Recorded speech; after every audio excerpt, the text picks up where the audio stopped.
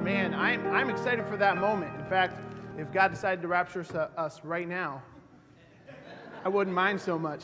Uh, but if you turn in your Bible to Galatians chapter number 2, Galatians chapter number 2, we're going to look uh, in verse 20. Uh, and I'm going to be jumping around the Bible a little bit tonight. Uh, and feel free to, you can try to keep up with me or you can look up the verses later, whatever you'd like to do. But we're going to start in Galatians chapter 2, verse 20 says, I am crucified with Christ. Nevertheless, I live. Yet not I, but Christ liveth in me. And the life which I now live in the flesh, I live by the faith of the Son of God, who loved me and gave himself for me. So, tonight we're going to be talking about a funeral. Now, as Christians, funerals are um, a little bit of a different thing because they're painful, we're going to miss the people that, that were gone before, uh, that have gone before us, um, and, and they do hurt. But at the same time, we know that because this life on earth has ended for them, a new life has begun. And that they're in a better place. And, and tonight, we're not talking about funeral for a loved one, but the question is have you ever been to your own funeral? And today, we're going to be talking about a special kind of funeral that needs to take place in each and every one of our lives. Let's pray. Lord, I thank you so much for the opportunity um, to stand in this pulpit, Lord, to, um, to preach your word. I pray that you would help me to have the words to say, Lord. Help me to rely upon your wisdom, Lord, and that you would lead me. Lord, I pray that you would help us to be able to learn something out of, uh, from this message tonight. In Jesus' name, amen. So, the first thing we're going to look about, uh, at about this funeral is that it's a personal funeral. I'm not talking about a funeral that's taking place for the person sitting next to you, not a funeral for your spouse, not a funeral for your sibling. This is for you. It's a funeral that God wants to take place in your life. The Bible says, I am crucified. The Bible talks about how each of us need to be willing to die to ourselves. Each of us need to be willing to give up our own lives for Christ so that we can live for Him. It's personal. I am crucified. You know, you're, we, we understand the fact that Christ's death on the cross is what provided a way for our salvation. We understand the fact that there's nothing we can do in and of ourselves to get, our, get ourselves to heaven. The only way that we can get to heaven is by putting our faith and trust in what Jesus Christ has done for us. And we all understand that fact. And yet, when it comes to living the Christian life, it seems like we try to do it in our own power and in our own strength. And yet, just as much as you cannot get yourself to heaven, just as much as you have no ability in and of yourself to get there, to wash your own sins away, you cannot be sanctified in your own power. The only way you'll be sanctified is by dying to self. We are sanctified through identifying with the death that Christ had on the cross for us. And it's just as much His power as salvation is His power. Galatians 3, verse 3 says, Are ye so foolish? Having begun in the Spirit, are ye now made perfect by flesh? It says, Are you, are you, are you stupid? Says, are, you, are you so foolish? What, what, what is going on in your mind that you think you had to, by the Spirit, begin this? That the only way you could be saved was by the Spirit of God, was by the grace of God, was by grace through faith. And yet now you're trying to live as a Christian in your own flesh? He says, Are you foolish? That's, that's not how God set it up. It must be accomplished through the strength of God. Sanctification is just as much by grace as salvation is. And today we're looking at that personal funeral, a funeral that needs to happen in your life, a death that needs to happen in your life. No, not a physical death. You, you, I'm, not, I'm not saying we all need to die here in this church building tonight physically, but that each of us need to die to ourselves. Well, what does that mean? We're going to we're gonna look at that tonight. What does it mean? I understand, Pastor, it's for me, but what does that mean? Well, first we can see it's a practical funeral. It's practical. There's things that, that God expects that you can see in our life to have this funeral. First, you have to die to your old sin. Romans 6:11 says, "Likewise, Reckon ye also yourselves to be dead indeed unto sin, but alive unto God through, uh, through Jesus Christ our Lord. The things, you know, the song, the things I used to do, I don't do them anymore. And yeah, it's a kid's song. We have fun. We sing it at camp almost every time we go. And uh, it's fun. We normally put in funny, random things in there. I'll point at a kid at camp and they'll say the, the books I used to read, the, you know, the, the things I used to eat, the things I used to smoke. I don't smoke them. And they, you know, go through. And we can have fun with it. We say a lot of different fun things. But at the end of the day, this should be true. That we should have died in our lives to the sin of the past, to the sin of the old man. We are, there should be a change in our lives. You should say, No, I don't serve sin anymore. I serve God instead. Uh, in 1 Peter 2.24 it says, Who his own self bare our sins in his own body on the tree, that we, being dead to sins, should live unto righteousness, by whose stripes ye were healed. The Bible says we should be dead to sin and instead live to something new. We should live to righteousness. We should, we should live in Christ. And uh, it's not good enough just to die to the old sin and not put anything new on. The Bible talks about putting on the new man. And a way that you might be able to understand this, I'm on a diet right now. Okay, and if I decided for my diet, say, okay, well, I'm gonna stop eating all the old bad things I used to eat. I'm gonna stop eating, you know, McDonald's, not having McDonald's anymore.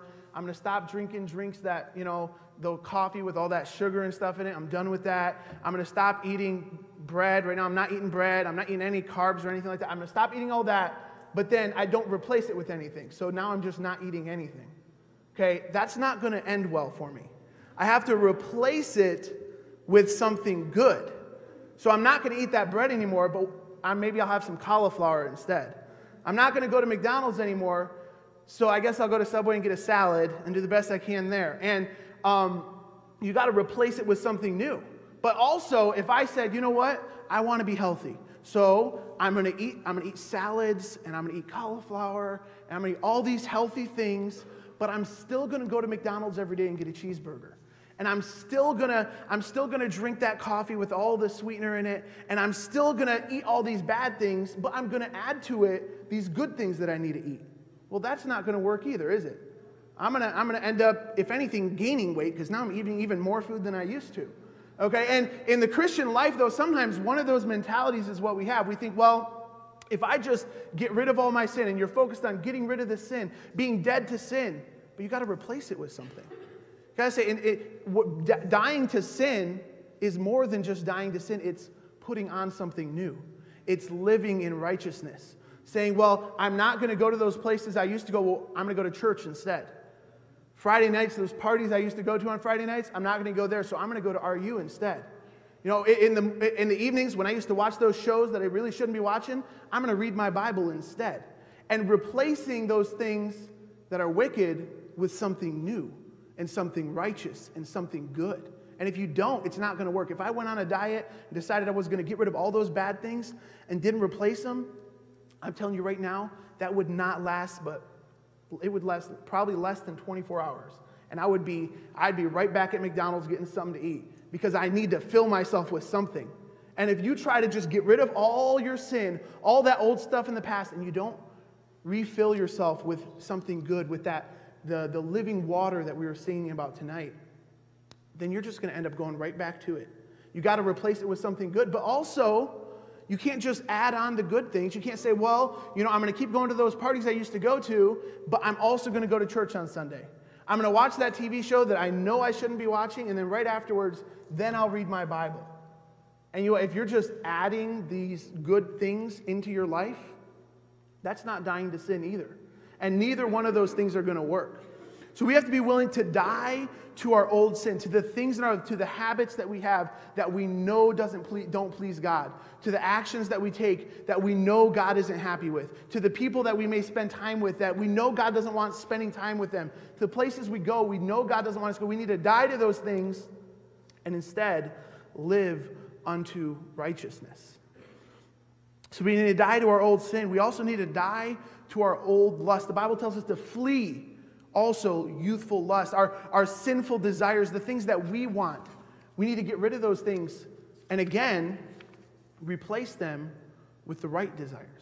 Our inward sin that causes us to drift away from God, The things that we think, you know what, it's not a big deal. It's not affecting anybody else. It's just going on right in here, and nobody else even knows about it, and it's not going to hurt anybody. Just let me let me have this attitude that I have, and you know what? I'll get it right later. Let me hold this bitterness in my heart, and I'll take care of it later. Let me hold on to these desires that I have for my life, but I'll still serve God. We got to get right, not just what we're doing on the outside, not just as the song says, the things I used to do and the places I used to go, but also the things I think about and the things that are going on in here. The desires that we have need to change. And the only way that's going to happen is if we if we fill ourselves with the right desires. Colossians uh, chapter 3 says, Set your affection on things above, not on things of the earth. For ye are dead, and your life is hid with Christ in God. The Bible says you are dead, and because of that, set your affection on things above. You're dead to the old ways of life. You're, the old things that you used to want, the desires that you used to have for your life, the, the, the passions that you, the things you thought you were going to do with your life. The Bible says, die to those things and instead set your affection on things above. Instead of having a desire for more riches, we should have a desire to, to give to God and to see God use our, our life for Him. Instead of a desire for people to know our name, we need to have a desire for people to know the name of Jesus. Instead of having a desire to, to, for, our, for people to, um, to look up to us, we need to have a desire for people to look up to God. And instead of our own desires, instead of our own aspirations, we need to fill our heart with the desires that God wants us to have. And um, I, don't, I don't know about many of you, but I, I am the type of guy, I am not a huge fan of shopping. I really, I'm not. I, I do really enjoy shopping for about four and a half minutes. That's about it, you know. And and I will get like if I'm in a store for an hour every once in a while, I'll find something that I like to look at for like 30 seconds, and then I am back to you know not really enjoying it as much. But uh, so this Chris at Christmas time, we went. I went shopping with my wife and my sister and Austin, and we had a great time. But there's just some stores that I am not a huge fan of going into. Stores like, like Gordman's, okay? I don't know if any of you have been in Gordman's, but it's not really one of my favorite stores. Oh, Mr. Uh, uh, Mr. Turnbull back there said he's been in Gordman's. His favorite store, right? No, no, not, not, oh, it's her favorite store, yeah. So stores like that. And not that I won't ever, once I get in there, I normally find something that I might be interested in, but I'm normally not that excited about going into it. And my desires, my heart is not to go into those stores. I'd rather just sit in the car and wait. And sometimes when we go grocery shopping, that's what I do. My wife goes in to get the groceries, and I'll sit in the car and wait, because honestly, that's where I'd rather be. But at this time, I, I think it might have even been my idea to go shopping and go to Gordman's and go to these stores because I wanted to, my wife to be happy, and I wanted to have fun with my sister, and Austin probably hated me for it, I don't know. But I, want, I wanted to do it not because it's what I wanted, but because I had changed what I wanted and tried to do what my wife wanted to do. And in the same way, in our life, if we get too focused on what we want, we're not going to be able to please God. Instead, we need to say, you know what? What I want most in my life is to please God. And there are things in my life that if it were up to me, would be different. There are things in my life that if it were up to me, I would have. There's things in my life, if, if it were up to me, what I would use this money for might be different than what I'm going to, but what I want more than anything else is to please God. A mentality of seeking first the kingdom of God, of wanting what God wants above anything else. Why? Because we love Him because he's done so much for us. We, if we gave him the rest of our lives, every second of every day, every penny that you ever earn, if you give it all to God, you still won't even have hit the tip of the iceberg of how much you owe him. And that's why we do it. That's why we need to change our desires. Um, so we need to die to our old sin, to the actions, the, the things that we do. We need to die to our old, our old desires, our old lust. But we also need to die to our old logic to our old way of thinking. If we want to live in Christ, we need to have a funeral for our own thought processes. Because many of us, in our own minds, we have our logic and it makes sense to us, and this is what we think is best, but we need to give up that logic and trust that what God wants is what's best. It's not just about your desires, it's about that way of thinking. God's commands don't always make sense to us.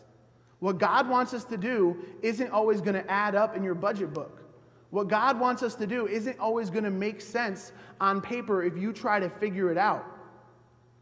But we must put our own logic and our own thinking aside and trust God. We need to walk in the Spirit so that we're not fulfilling those lusts of the flesh, the things that we want. We need to walk and trust that what God wants is what's most important. Isaiah 55 says, For my thoughts are not your thoughts, neither are your ways my ways, saith the Lord.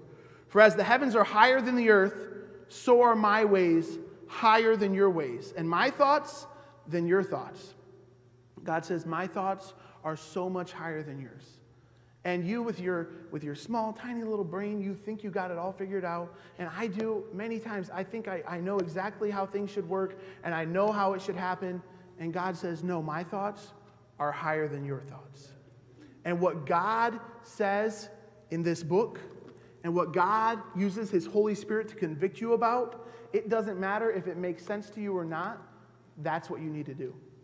We need to die to our own logic, die to what we want, and instead live our lives trusting God and living the way that He wants. So, if we do this, if we die to ourselves, if we're willing to die to our old sin, if we're willing to die to our own desires and get rid of those own desires and desire what God wants instead, if we're willing to die to our old logic and our own way of thinking and trust that God's way of thinking is the best way of thinking, thirdly, it's going to be painful sometimes. It's a painful funeral. As I said earlier, you know, as Christians, we know that our family, when they pass away, they're going to go to a better place. We know that this death means a better life for them, but that doesn't take away from the fact that it's still painful. And dying to self is painful sometimes. Getting rid of those sins in your life that God doesn't want to be there can hurt. Trying to give up your own desires and replace them with the desires that God has Sometimes it doesn't feel good. It doesn't feel like what we want, and it can hurt us. Trying to put away our own logic and trust that God knows best, it can be stressful and it can be painful to us sometimes. It, it, it can. And as much as we know, me, if I give this up, God's got a better plan. And, and you can know that, but it's still going to hurt sometimes. As much as you can know, you know what? God knows best, and if He doesn't want me to have this, then He's going to take care of me some other way. As much as we know that, it still hurts sometimes. As much as we know that, you know what, these may not be the people God wants me to hang around, and I need to find myself new friends, much as we know that God is going to give us a better one, it still hurts. And it will be a painful funeral. The Bible says in Romans 6, knowing this, that our old man is crucified with him that the body of sin might be destroyed, that henceforth we should not serve sin. So it talks about what, what's happening to our flesh. We're crucifying it, we're destroying it. That doesn't sound like a pleasant experience. No, it, it sounds like it's, it's going to be painful. And yes, at times it will be. Because we're identifying with the pain and suffering that Jesus went through when he died on the cross and he had nails pounded through his hands and nails pounded through his feet, and he had a uh, a crown of thorns on his head, and he was whipped beyond recognition. He went through that pain, and we are identifying ourselves with that pain.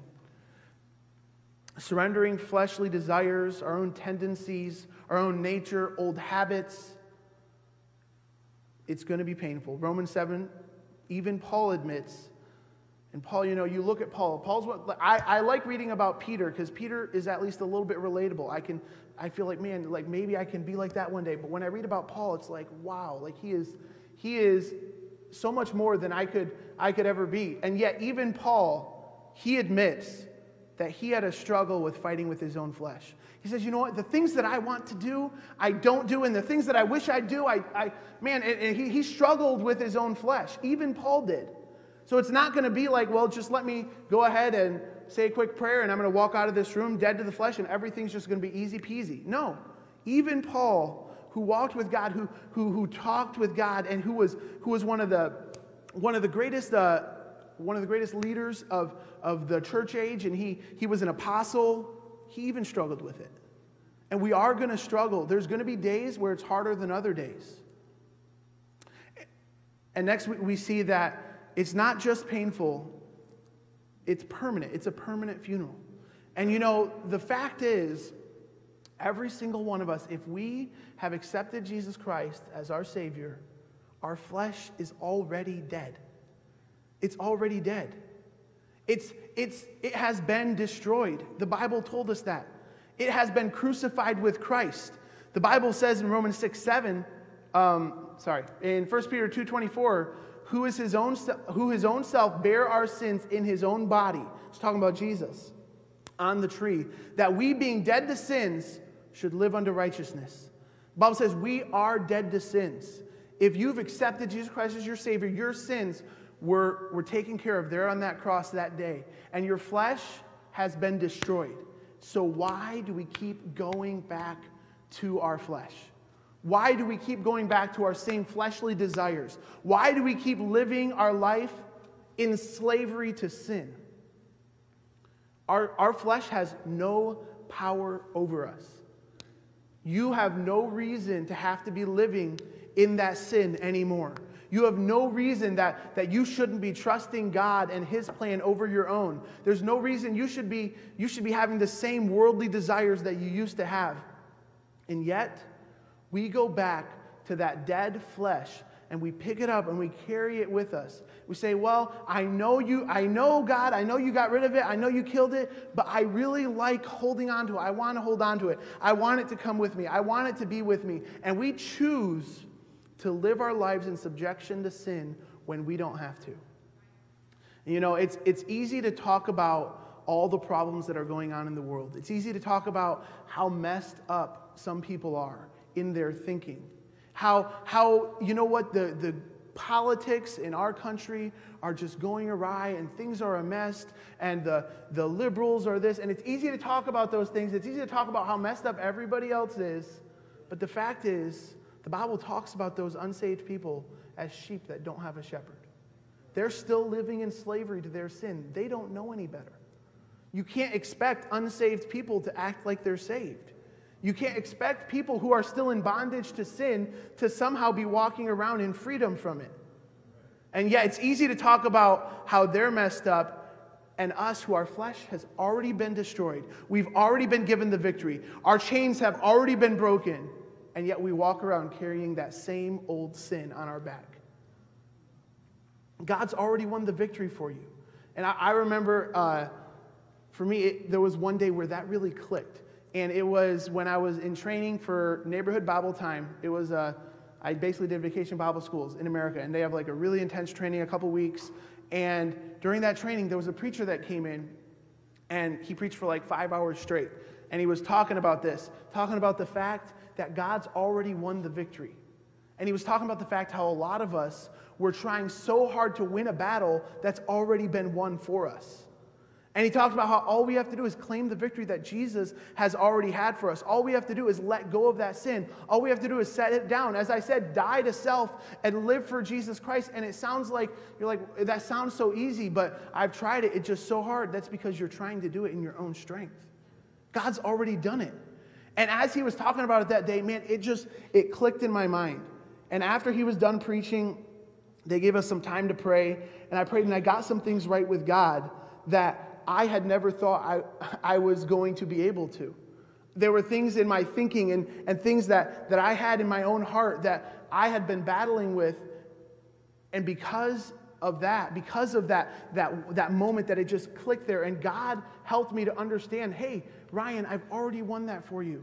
You're trying so hard in your own flesh to defeat the flesh when the Spirit's already killed the flesh for you. And it, it really it changed a lot of things in my life that day. Um, so we have to realize it's already been won, it's permanent. We have been given victory, and yet we want to go back to our old sin. We're afraid of what we might be missing out on, what, what other people are, are doing. You've already won. Just leave it, leave it alone. Leave it sitting there where it belongs. So we know that it's, it's, it's painful. We know that it's permanent, But you know, if you are willing to die to self, finally, it is a powerful funeral. It can be powerful in your life. The fact is, you are free. Romans 6, verse 7 says, For he that is dead is freed from sin. You are free from sin. Sin has no bondage over you anymore. And the moment you realize that, it can be a powerful day in your life. The moment that you say, you know what, I'm going to have a funeral for myself, I'm going to get rid of my flesh, I'm going to lay down this old dead flesh that I've been holding on to for so long, and you have that funeral, it's going to be a powerful day in your life. You're going to experience freedom like you've never experienced before because you are free from sin and you are alive. Romans 6:11 says, "Likewise reckon ye also yourselves to be dead and did uh, dead indeed unto sin, but alive unto God through Jesus Christ our Lord." Man, the, the day that you die is going to be the day that you live. That's what the Bible says. The day that you die to self is going to be the day that you really wake up and start living your life the way that God means for it to be lived. And God, the Bible, it's powerful. You're going to be free, you're going to be alive. And yes, you know what? There's some days it's going to be painful, but that pain in the end is so worth it for the freedom that it gives. That pain, that little bit of pain that you might go through in giving up your own desires and your own logic is so worth it when you start living, truly living the way that God wants us to live. You know, and so many of us were walking around like, like zombies, like, you know, like, like the living dead. Like we are, we're just walking around living our lives, walking through these motions, and we truly haven't found victory. We truly aren't alive in Christ. And God says, give it all up. Lay down that flesh. Lay down the sin that I've already given you victory over. And you know? For some of us in here, that means coming to Jesus Christ for the first time and accepting Him as your Savior. For some of you, you say, I've never experienced that victory because I've never experienced salvation. I don't know what it's like to be free from sin because I've never asked God to free me for that first time. I've never come to Him and asked Him to wash my sins away. And for some of us in here, you're in bondage to sin still because you've never been saved. And for others, you may have been saved a few months, or maybe you've been saved for years and years and yet you still live in bondage to your sin. You still live in bondage to your own way of thinking and your own logic. You still live in bondage to your own sinful desires. And many times we get to that place as a Christian and we need to come and have a funeral for ourselves. Give up what we want, give up the way we think, give up our sin. Say, God, I want to live. God, I want to be free. And you've already given me that freedom. You've already defeated sin. You already have a path that I can live and I can walk in. Help me to realize that victory in my life and to live the way you want me to live. Lord, I thank you so much for giving us the victory, Lord. That, Lord, it's already been won.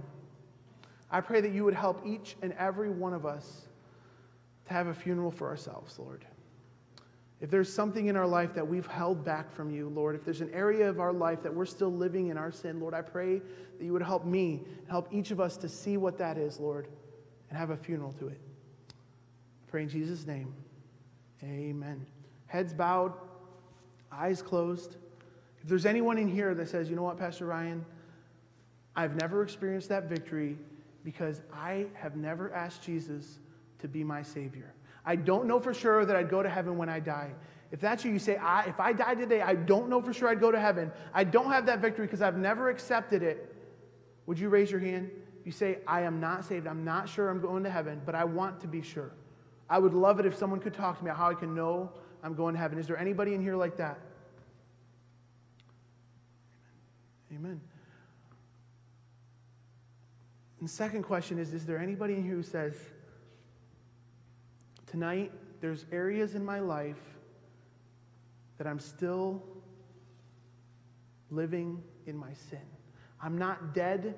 Maybe it's the way that I think, my logic, the way I make my decisions. Maybe tonight it's, it's your desires, some things that nobody else knows about, just the desires that you have in your heart that you're still holding on to. Or maybe there's sin in your life that you need to have a funeral for. If there's anybody here tonight that says, Pastor Ryan, there's something in my life that I need to have a funeral for, would you raise your hand? Anybody here that says, there's something in my life that I need to die to? Amen. Praise the Lord. Hands all over the room. You just put your hands down. As the piano starts to play, if God has spoken to your heart, don't hesitate.